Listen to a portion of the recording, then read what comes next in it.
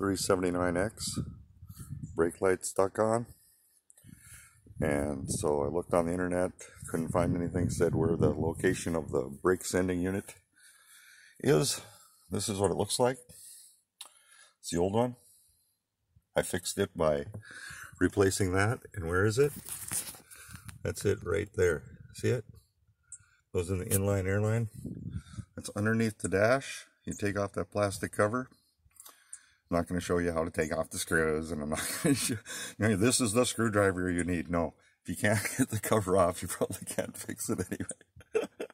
so here's what it looks like. Replaced it. Brakes work fine now. And then I was also going to show you real quick because I don't like very long videos because when I watch videos I don't have time. Okay, this there's also inside the dash and where did that go?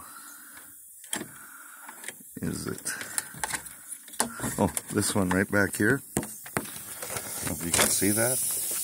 But there's a square block, and that's actually the um, the square. You know those